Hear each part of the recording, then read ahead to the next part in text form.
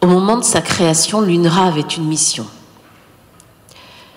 Peu importe l'existence d'une rupture d'égalité manifeste avec les autres réfugiés du monde, qu'ils soient africains ou asiatiques. Peu importe que le statut de réfugié palestinien ne comporte aucune limite dans le temps et qu'il soit transmissible de génération en génération.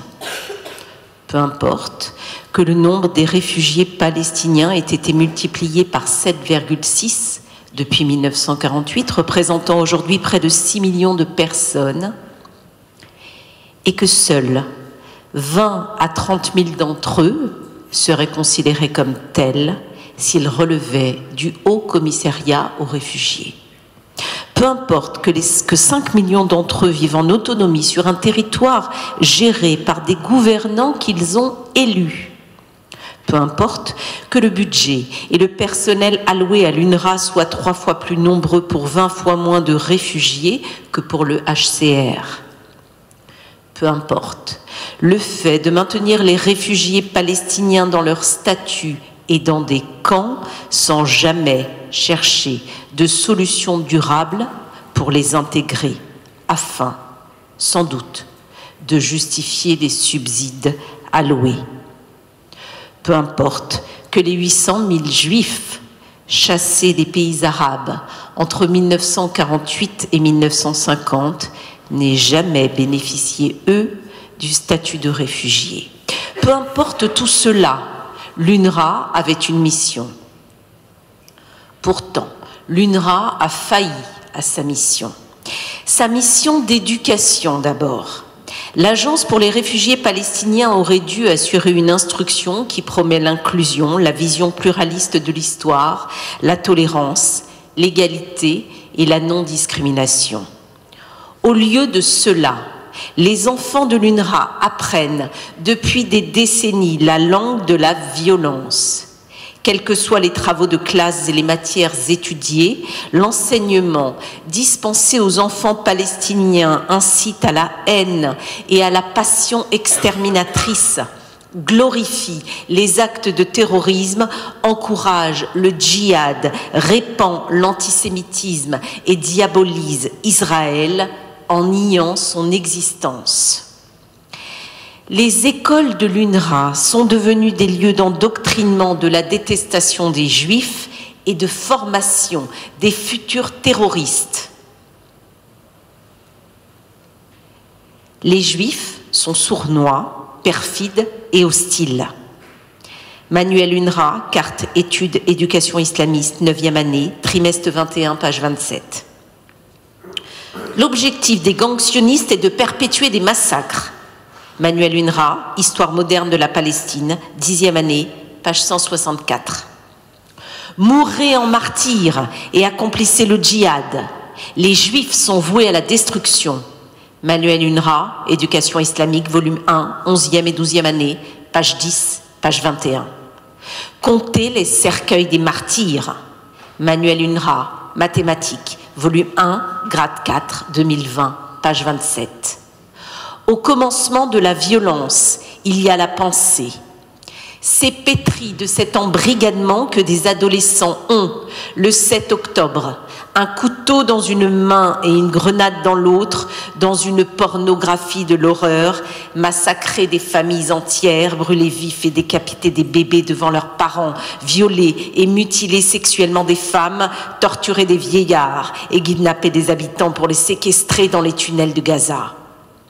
C'est pétri de cet embrigadement que des enfants de 8, 9 ou 10 ans ont enjambé les cadavres pour aller piller les maisons des juifs qu'on avait assassinés.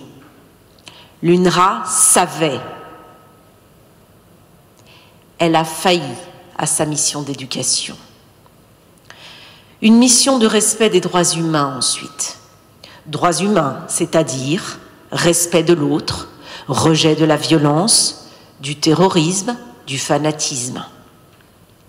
Pourtant, au lendemain du 7 octobre, plus de 3000 employés de l'UNRWA se réjouissaient de cette orgie de sadisme commise au nom d'Allah et célébraient la pulsion génocidaire des terroristes du Hamas. Pourtant, Au moins 12 employés de l'UNRWA avaient participé au massacre et certains d'entre eux retenaient des otages arrachés à leurs familles. Pourtant, environ 1200 employés de l'UNRWA à Gaza sont des membres du Hamas ou du djihad islamique et 6000 d'entre eux ont de la famille proche qui travaille pour ces organisations terroristes. Au sein de l'UNRWA existent donc des criminels pétris de frénésie meurtrière qui cherchent à exterminer leurs prochains. L'UNRWA savait, elle a failli à sa mission de respect des droits humains une mission de transmission de la paix au service des réfugiés enfin. La paix ne peut être envisagée aux côtés de terroristes, frères de Daesh, qui tirent profit des centaines de millions de dollars distribués par la naïve communauté internationale pour construire des, des engins de guerre, pour transformer des canalisations d'eau en lanceurs de roquettes, pour creuser des centaines de kilomètres de tunnels destinés non à protéger sa population civile, mais à entreposer des armes de guerre dans le but de tuer femmes et enfants en Israël. Seule la vérité peut conduire à la paix. La vérité factuelle, celle que personne, personne ne saurait ignorer celle qui démontre la découverte d'un tunnel utilisé par le Hamas et d'un important centre de données informatiques juste en dessous du siège de l'UNRWA à Gaza.